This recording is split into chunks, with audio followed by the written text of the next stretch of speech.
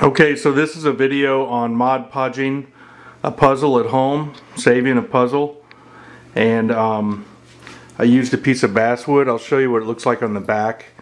And drilled a couple holes in there and glued the basswood on there with um, wood glue. And then of course you can hang it up like a painting. Okay, so I used Mod Podge, the matte, somewhat clear um, Mod Podge. I used this fancy Mod Podge brush.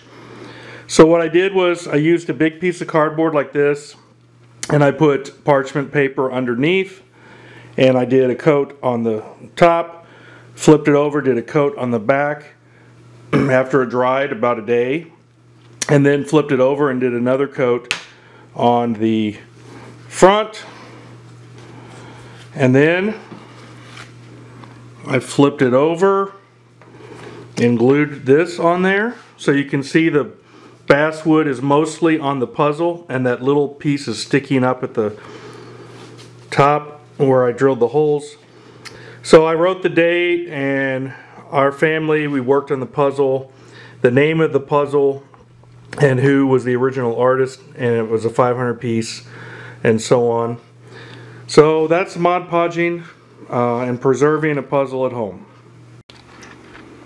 Oh, and of course, one other thing I didn't mention, which is when I put the wood glue on and glued the basswood back here, I did, um, you know, put books and weights on it to kind of press it from the back as I, you know, had it, the glue drying.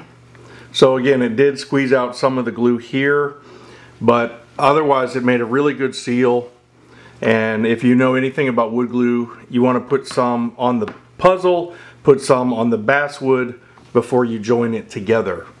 So anyway, it's sealed really nicely and it holds really well. Bye. So it's not hard to do and it's a way of saving a puzzle, but of course you can never do the puzzle again.